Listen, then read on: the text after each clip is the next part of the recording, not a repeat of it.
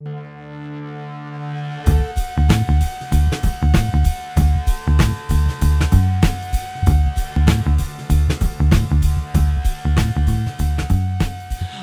everybody, to the Knightly News Podcast. This is Professor Paul Miller, and as always, one of my favorite guests, a man of many hats here at Central Penn College.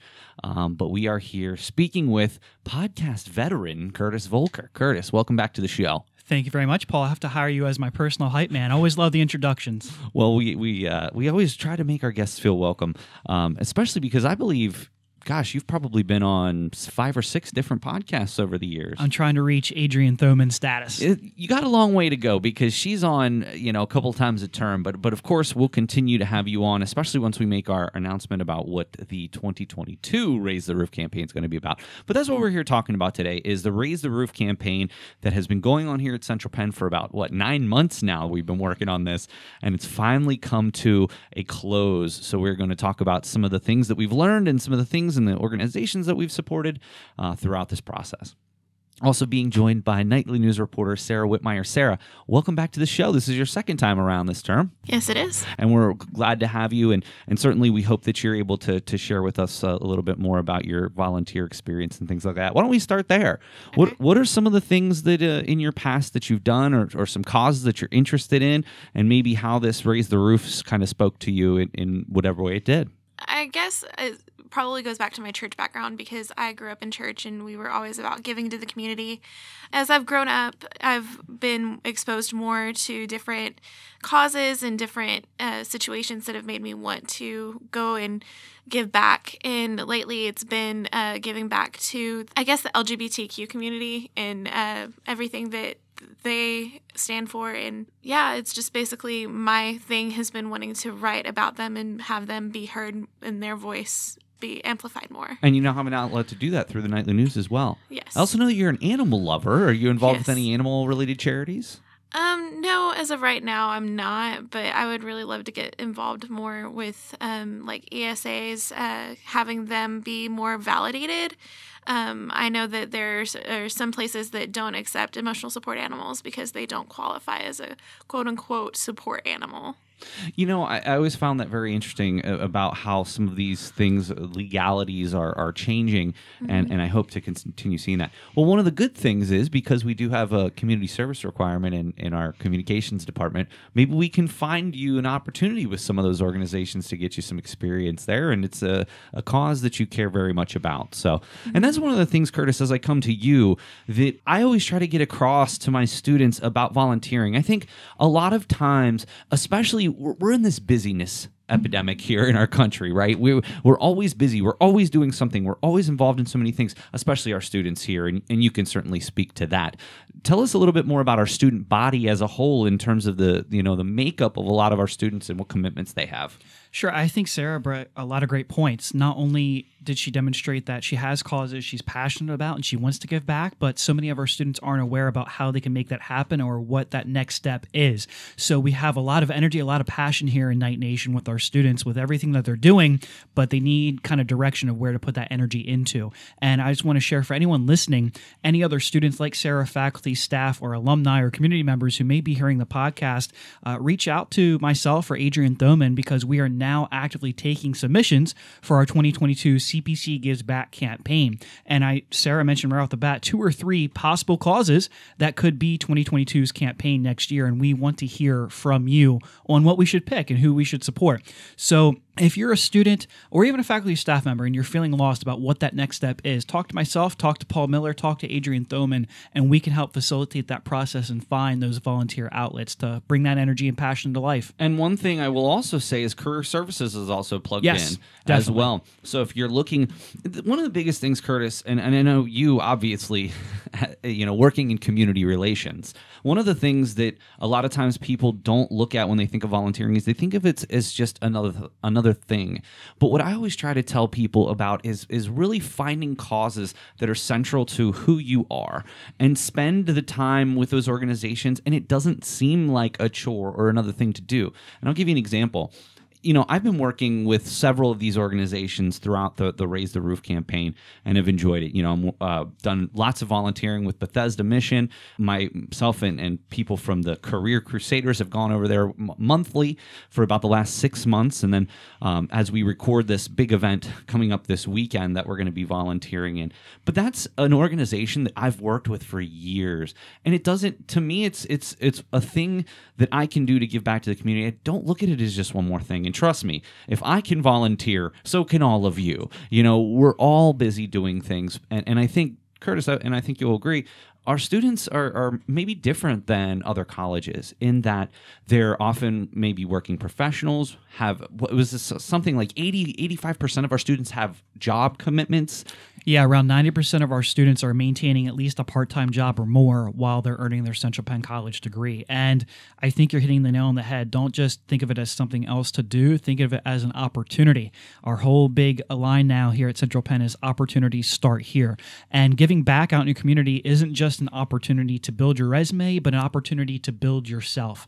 And it's not just a networking opportunity but it's a personal growth opportunity to get out there and just remind yourself that hey there's so many people that can use help and earning that central penn degree can help put you on that platform to be able to give back to our community and help those of us around us that need that assistance. And just uh, last piece of this one of the things that i do that i look at as one of the greatest things that i do in my life is uh, my son has been involved with the challenger baseball my son's special needs. And um, you know he's always struggled with athletics. He, he's it's very difficult for him to understand the rules and, and to be able to play in organized sports.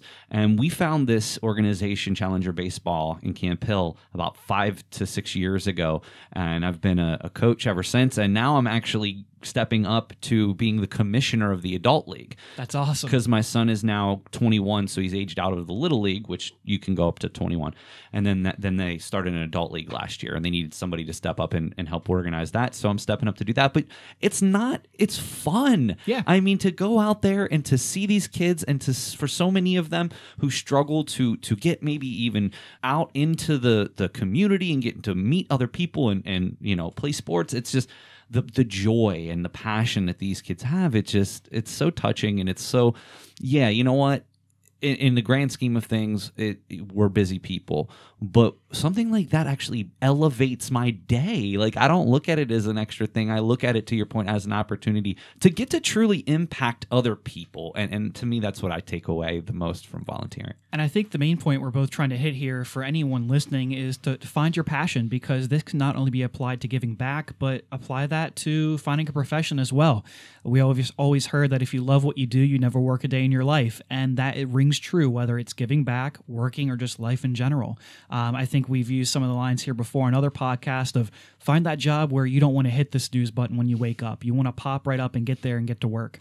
Now, Sarah, when you think about and, and sort of reflecting back to some of the volunteer work you've done, how has that maybe changed who you are as a person? How has that how has that made you maybe change your perspective? I know at first when I was volunteering, it felt like my arm was being twisted and that I had to do it, that it was something that I felt like I was obligated to do. And I know that now as a person, it has made me grow. It has made me think about different perspectives and it's allowed me to actually enjoy volunteering and actually be happy when volunteering because I know that I'm bringing happiness to other people. Awesome.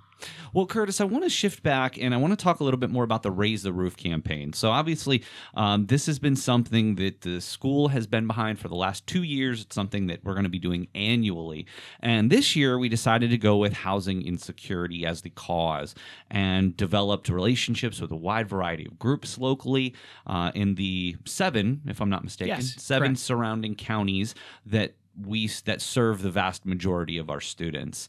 So tell us just a little bit more. I mean, I know because I was in some of these meetings, but tell us a little bit more about how we decided which organizations in each county to work with. Yeah, so just as you as you mentioned, Paul, our awesome team here, made of different staff and faculty members here at the college, got together and reviewed um, a number of different submissions. Just like I mentioned, we're taking for 2022. We had the same process last year where we had students, faculty, and staff kind of raise their voice and share. Here's what we want you to support we reviewed a couple of different items and, and thinking about what could we really make the most impact with. And uh, as we did some research, we found that housing insecurity and homelessness was really coming to the forefront, the number of nominations that we received. Um, through our process, we then submit to the cabinet to review a couple of different options. Uh, they review on their end. And it really came down to we were doing some similar things here at the college related around housing. Our housing scholarship was brand new and just got launched, and it just seemed like a perfect fit at the right time to pick the cause of housing insecurity and homelessness for the CPC Gives Back campaign for 2021. And what's really interesting too that we've I think we've all can attest that we've seen lately is is the housing market right now. I mean, even just to rent like your basic two bedroom apartments, Sure. nine hundred to thousand dollars all around these this area, and so that must make this whole the the notion of housing insecurity all that much more important right now because it's so difficult to even get to that point where you're renting your own apartment. It's just it's it's amazing what's happened to the housing market over the past year and that's probably making things much worse for so many people trying to to afford their property. Yeah, not only on top of just the housing market in general, when you really narrow it down spe- specifically to where we are here, Cumberland County, the fastest growing county in PA, I believe, that just adds on the pressure that's so much more for people that are looking for affordable housing. Talk to us a little bit about some of the organizations. We, we I don't know we necessarily have time to go through each and every Sure. single one and and we, we're not excluding anyone. Right. We, we just want to highlight a couple of the organizations that we're working with. Sure. So, just to remind our listeners, we're looking at organizations from Adams, York, Lancaster, Lebanon, Cumberland, Dauphin, and Perry counties.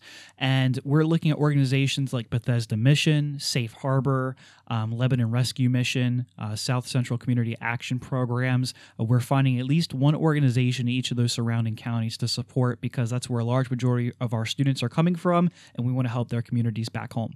And fans of the Knightly News and the Knightly News podcast will also know that uh, graduate now, Leslie Heimball's Perry County Literacy Council Yes. is also one of those. Um, I actually just submitted the paperwork today, and Leslie is officially a Central Penn College graduate. Congratulations, Leslie. I know we know she's going to listen. So it's it's wonderful that we've been able to, and that's one of the things I told her, and, and sort of one of my parting uh, comments to her was, I never realized. I've known Leslie for years, but I never realized to what extent her organization helped with housing insecurity. And when we were trying to locate uh, an organization in Perry County, it immediately thought to to me, Leslie, is this something that that the Perry County Literacy Council will be a part of?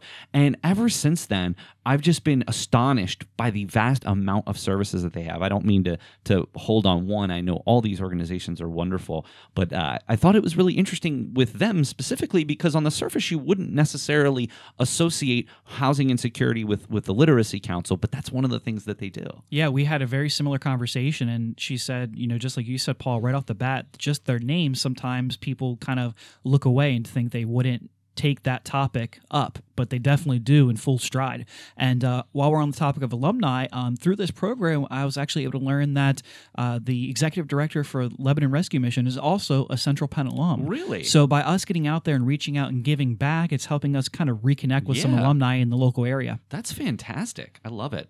Well, I, I want to bring it back to sort of the looking back and reflection of the Raise the Roof. Now, Sarah, I know that you've been a part of the Knightly News, and this has been something that we've gotten behind.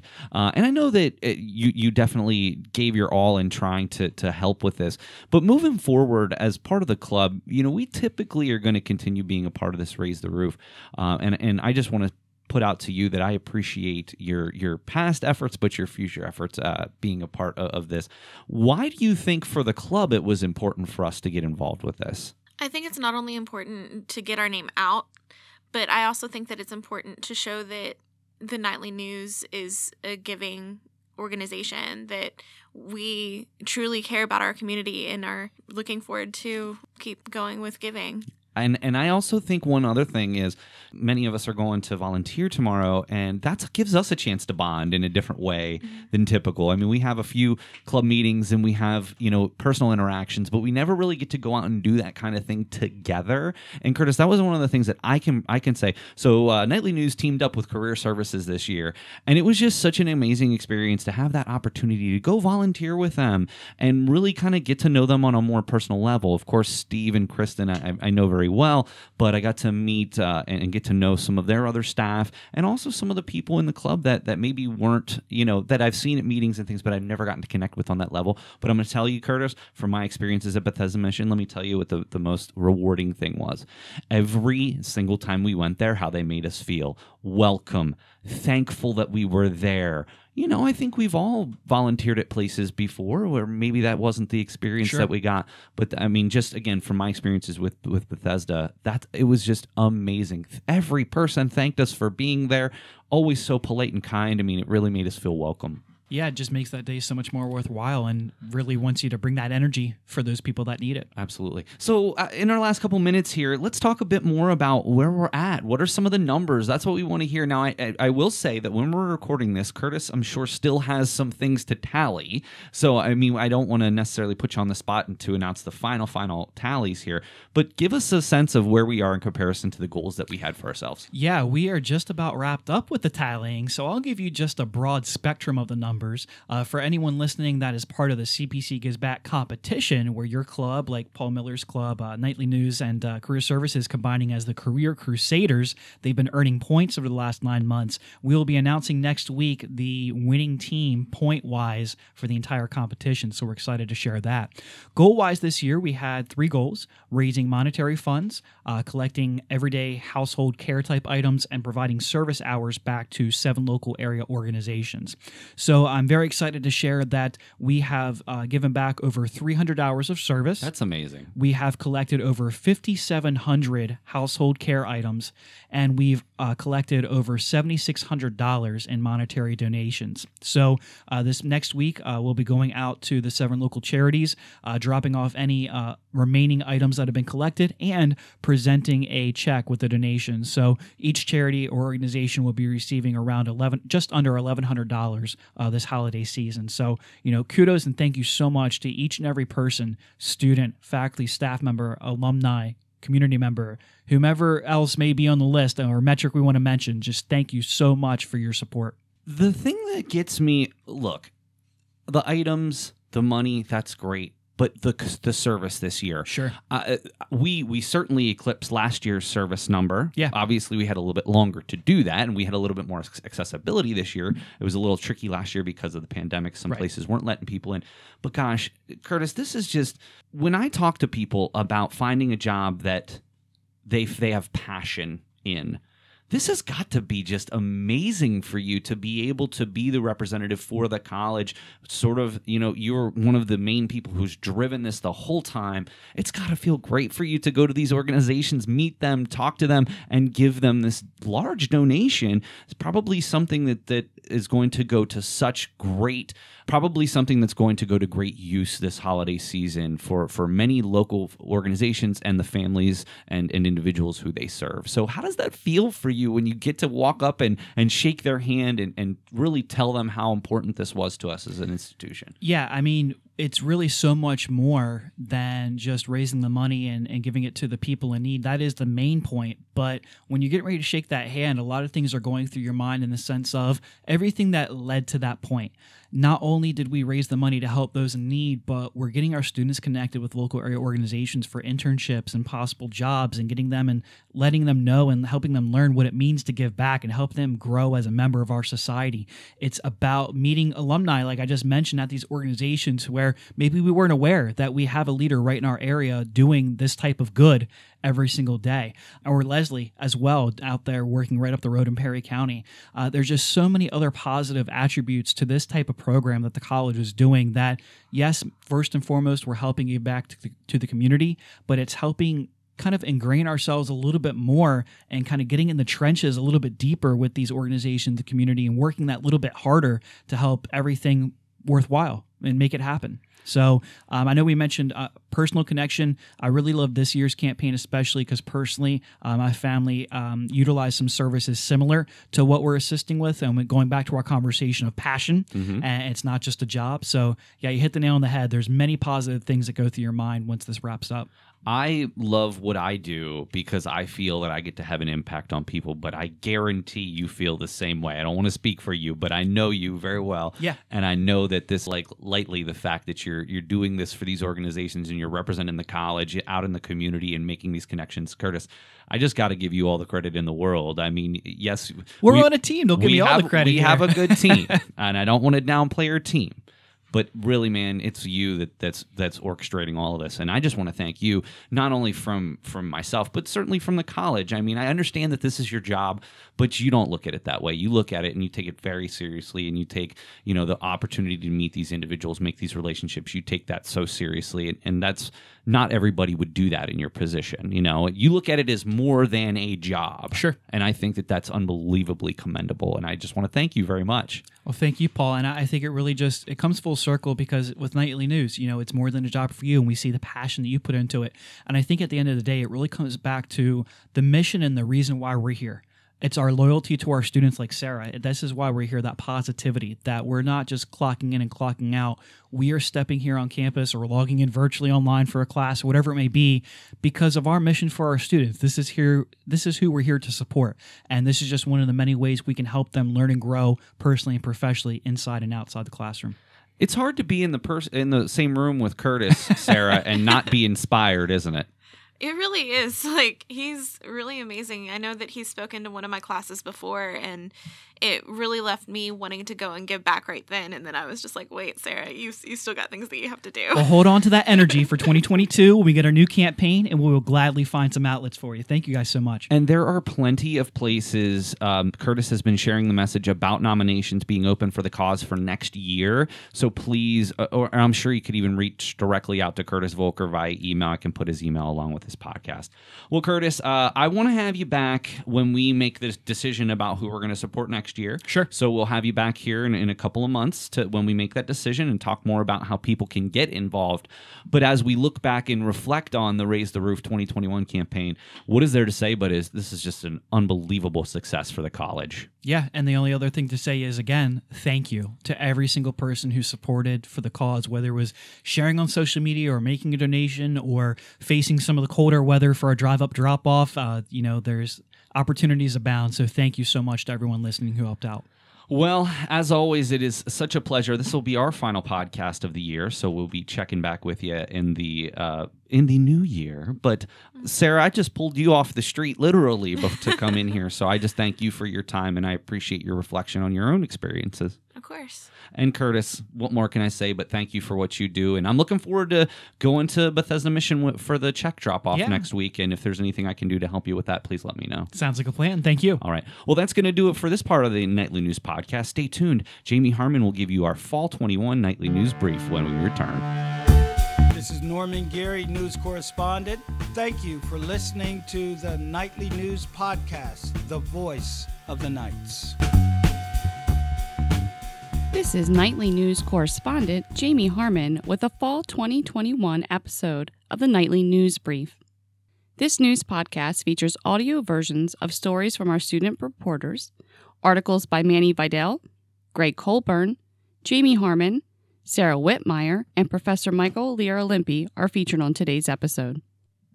At 8 a.m. on a Saturday morning earlier this term, with the temperature steady at 35 degrees, the Central Penn College baseball team, with head coach Robert Stern, showed up to help some workers remove fencing from around the Koons Park main baseball field in Linglestown, Lower Paxton Township.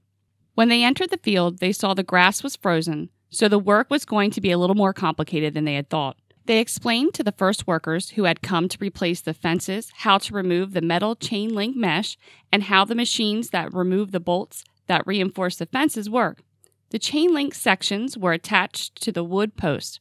In addition, the workers gave some of the players metal cutting scissors to snip the mesh into small portions to roll them up and put into place. Workers were grateful the folks from Central Penn were there. Robert Stern, head coach of the Knights baseball team, said, quote, in this moment, they needed our help with the fence because in the future we can use the park for practices and games. End quote. As the morning warmed a bit, more workers arrived. Thanks to the support, it took less time to replace the metal fences than the original contingent believed it would just a couple hours earlier.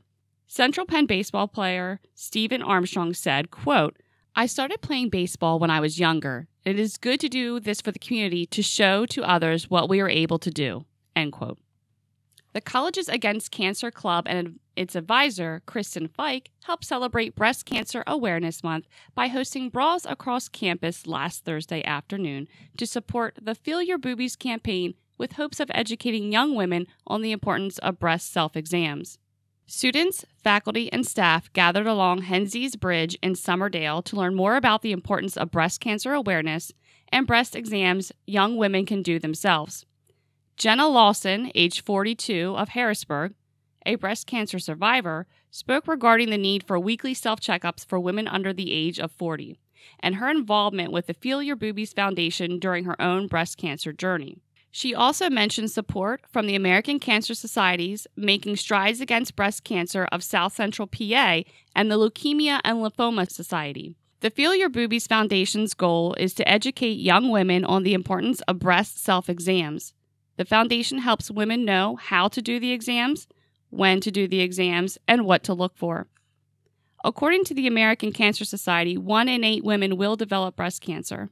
Kristen Fike, advisor to the Colleges Against Cancer Club, said, quote, because some women are too young to get screenings, they really need to have that self awareness on their own to be doing self breast exams. End quote. Many students stopped to show support and spread awareness of the importance of the prevention of breast cancer. Central Penn students and employees collected over 40 bras for the event. The bras were hung on the bridge and were donated to the local shelter for women in need. The Office of Student Engagement welcomed to campus in November two baby kangaroos from Aldinger Farms, Halifax, as a way for students to have a unique experience. Aldinger Farms has five kangaroos that the private farm takes to local organizations for morale building events. The baby kangaroos, known as Joeys, visited UPMC and Cumberland Goodwill EMS in the recent months. Matt Aldinger, owner of Aldinger Farms, bought two kangaroos and has helped to breed three babies, two of which visited the college Friday. Pearl is the female Joey, and Duncan is the male. Aldinger shared that to own kangaroos, the farm must have a permit from the state. Kangaroos live between 10 and 20 years and hail from Australia. Female kangaroos are much smaller than males as male kangaroos often weigh more than 200 pounds, while females typically weigh under 100 pounds. Aldinger said, Kangaroos are able to withstand the cold, something many people ask about. He pointed out that kangaroos, much like people, do not prefer the cold, but can live in colder temperatures. According to Aldinger, adult kangaroos often become silently aggressive, especially in the wild, but baby kangaroos are often quite docile and receptive to being held and played with. The joeys feed from milk bottles, while adult kangaroos typically feed on a diet of bread, apples, and carrots. Sometimes you get a chance to step back in time. Just ask Professor Paul Miller. Recently, he revisited Butler Radio Network, home to WISR, WBUT, and WLER, the rock station of 97.7 FM in Western Pennsylvania, where he interned in 2003 as an undergraduate at Slippery Rock University. The reason for his trip? He stopped in to say hi to one of his students, Crystal Golden, who was following in his footsteps. Professor Miller said, quote, I was very excited about her interning at the same place I did. I highly encouraged her to apply there and make sure that she could do an early internship based on the time frame that we had for her. End quote. She was finishing up her internship working with some of the same station personnel that had trained Miller nearly two decades before, he was glad to reconnect with his mentors. Miller went on to say, quote, To have Crystal there was so special. All along, I knew that I wanted to go back to the site, especially when I found out that Vicki Hinterberger and Bob Cupp, my two supervisors, were still there nearly 20 years later. End quote. For her part, Golden admits that she had some big shoes to fill. She said, quote, I'm not going to lie. At first, it was kind of intimidating to have my internship at the same station as Professor Miller.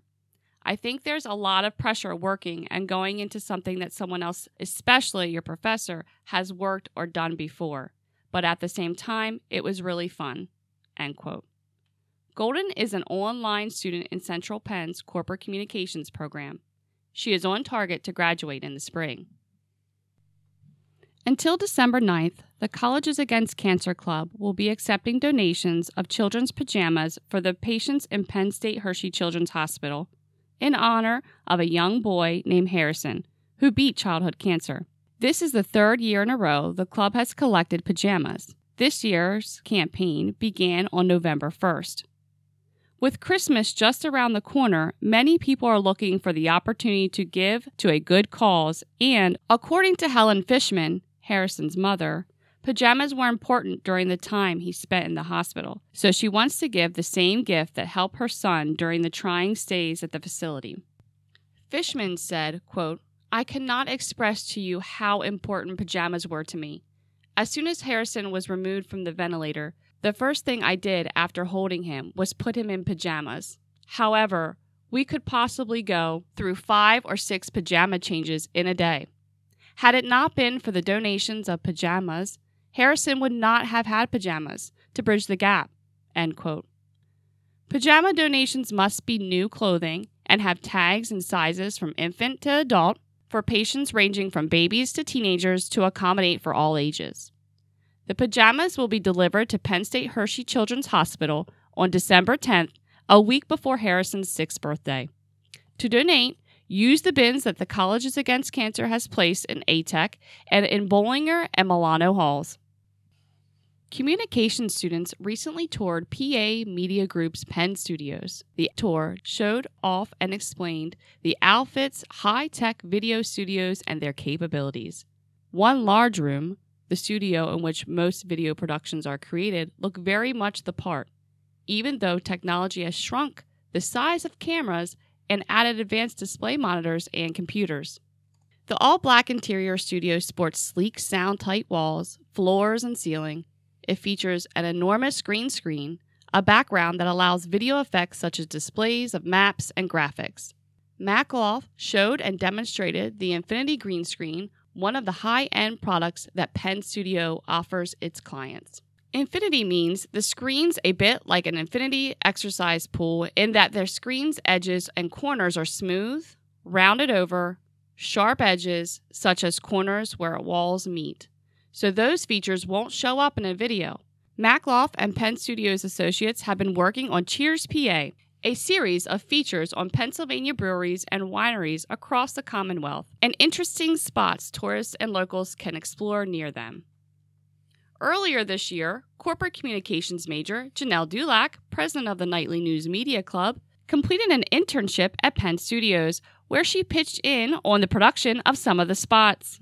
Dulac also finished a video while at Penn Studios on local drag queen entertainer and person about town, Betty Whitecastle. The short documentary appeared on Penn Live. This has been Knightly News correspondent Jamie Harmon with the fall 2021 episode of the Knightly News Brief.